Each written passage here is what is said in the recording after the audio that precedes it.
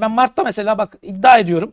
Eğer seçimler böyle anketler böyle 1-2 puan farkla çıkarsa Mart'ta ek zamların geleceğini, ekstra, hediyeler, ekstra hediyelerin geleceğini düşünüyorum. Ama eğer fark büyürse yani 15 puan olursa kimse kimseye bir şey vermeyecek. ihtimaller olacak. Kartlar için ne diyorsunuz? Peki Kredi kartı e, şimdi bu e, taksitler sona erdirilirse, limitler kısıtlanırsa zaten 25 bin üzerinde %40'lık bir asgari ödeme var.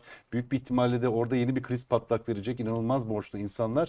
Bu sistemi nasıl düze çıkaracaklar? Valla işte Hem çok vatandaş hem devlet. ya şimdi şöyle onun yapılması şöyle zararlı olacak kısa vadede vatandaş için. İşte bir sürü şeyi alamayacaklar, zorlanacaklar ama o sıkıntı yaşarsak ondan sonra dönem daha refahlı oluruz. Yani şunu anlamıyor insanlar. Tabii bunu da anlatmak çok zor ama sen kredi kartla bir telefon aldığında ya zaruri bir şey değil. Ek, et almıyorsun, peynir almıyorsun.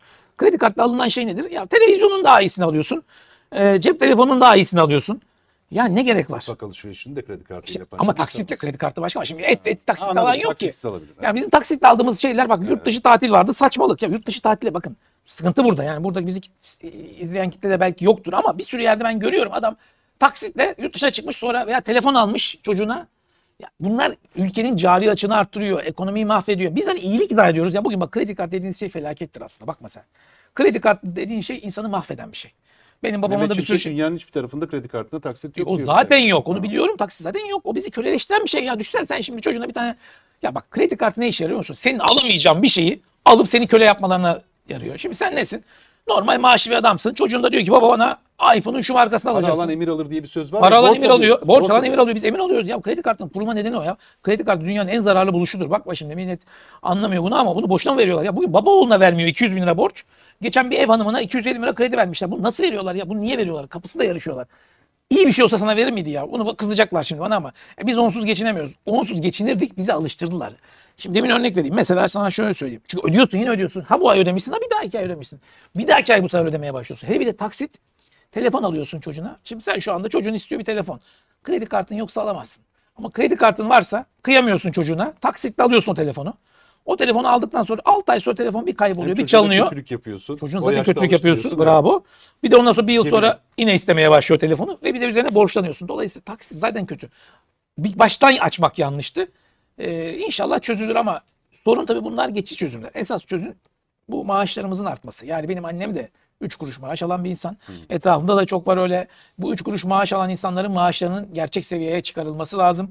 Kaynak yok mu? Kaynak her zaman Türkiye'de bulunur ama kaynak başka yerlerde olduğu için tam oralara konsantre olurmuyor ama yine vatandaşın biraz istemesi lazım. İnşallah isteyeceğiz ve alacağız bu sefer. Tasarruf yapma alışkanlığını hani bir miktar daha yüksek aldığımızı düşünelim. Geçiniyoruz. Aslında çok böyle gereksiz harcamaları da yapmasak tasarrufta yapabiliriz ama hiç alışkanlığımız yok diyelim. Bunu sağlamak için e, tavsiyeleriniz ne? Abi tavsiye bir kez çocukların mutlaka bu küçük, küçük yaşta da başlamak lazım. Mutlaka çocuğu olanlar çocuklarına kumbara kültürünü aşılasınlar. Bakın kumbara verilip bize tasarruf öğütülüyordu. Şimdi kumbara unutturuldu kredi kartı veriliyor ki hayatımızı karartmak için. Bak bir taraf senin para sahibi olman istiyor. Bugün köşede 500 bin liran varsa özgürsün. 500 bin lira borcun varsa kölesin. Sistem bu hale gelmiş. Ülkeler için de böyle.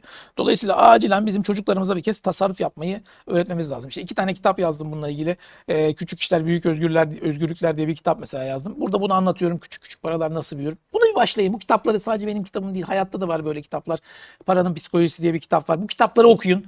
Ee, Zengin Baba, Fakir Baba. Bir kez bu insanların nasıl yaptığını öğrenin. Bakın Bakın bugün bir şey paylaşacağım yine akşama doğru. Ee, Büyük Üstad Doğan Cüceloğlu diyor ki ya diyor bakın diyor. Türkiye'de bütün zenginlere bakın diyor. %99'u diyor 20, 30, 40 yıl önce diyor. iki tane şey bir az eğitimli.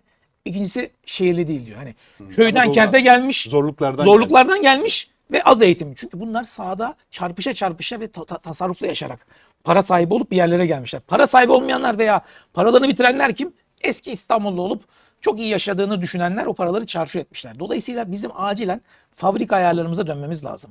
Yani ben şunu diyorum abi ya. Sana şunu diyeceğim ya. Lütfen kızan, kızanlar şunu bana şu an kızanlı kardeşlerim kaç kişi seyrediyor şu anda baksana bir. Bir bakayım şu an işte 100'e yakın 100 civarında. 100 mü? Evet. Bu 100 kişiden tamam mı? 99'u kızsın ama iki tanesinden şunu rica edeceğim. Bir iki tanesine. Gidin şu kredi kartlarınıza bakın ya. Bu kredi kartlarınıza baktığınızda bu ay almasaydım ölmezdim yahu diyeceğiniz kaç tane şey çıkacak ve kaç lira. Sana var ya emin ol hepsinden bir iki tane şey çıkacak. O bir iki tane şeyi bile köşeye koysan altına köşede param var. Benim derdim bu. Türkiye'de insanlar harcamayacağı, kullanmayacağı gereksiz şeylere çok para harcıyorlar. Bunlardan kurtulmamız lazım. Bu kadar net.